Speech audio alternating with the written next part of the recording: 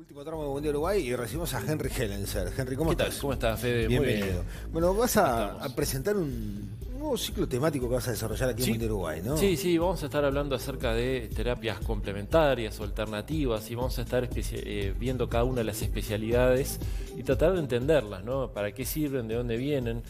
¿Qué se puede tratar? ¿Y qué podemos eh, eh, esperar de cada una de ellas, ¿no? Este, hoy vamos a comenzar con la biodecodificación, ¿no? La biodecodificación que es eh, una técnica bastante moderna en realidad, ¿no?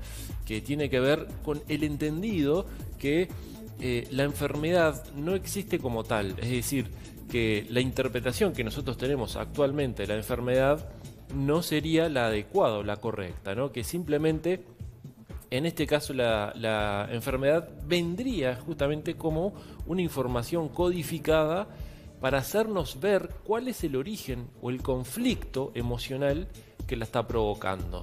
Como que de alguna manera eh, la enfermedad es un programa biológico codificado justamente que nosotros debemos entender, debemos saber justamente para saber eh, por qué es que nos pasan las cosas. Esto significa que suponete que vos tenés eh, algún tipo de dolencia física, eh, por ejemplo, hace un problema en la, en la espalda, ¿sí?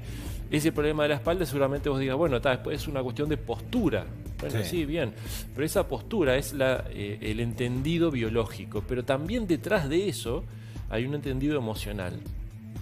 Ese entendido emocional es el que hay que descubrir y para eso está la técnica esta que es la de biodecodificación o conocida también como bioneuroemoción. Hay expertos acá en Uruguay que... Sí, claro, nosotros este, en nuestro centro trabajábamos con, con muchos de ellos, de hecho eh, eh, mañana comienza un curso justamente enseñando esta técnica, pero lo que es bueno entender de esto es porque muchos dicen, ahí estamos viendo justamente el, el- el cartel de- del curso que comienza mañana, lo que es bueno entender de esto es que tenemos la posibilidad de, no digo de, de evitar todas las enfermedades, pero sí entender qué, los, qué es lo que nos está queriendo decir la enfermedad, ¿no? Ajá. A veces la dolencia recurrente, como me duele muy seguido la- el dolor de, un dolor de cabeza o dolor de rodilla. Bueno, ¿qué significa la rodilla? ¿Qué significa el órgano? ¿Qué significa la parte del cuerpo?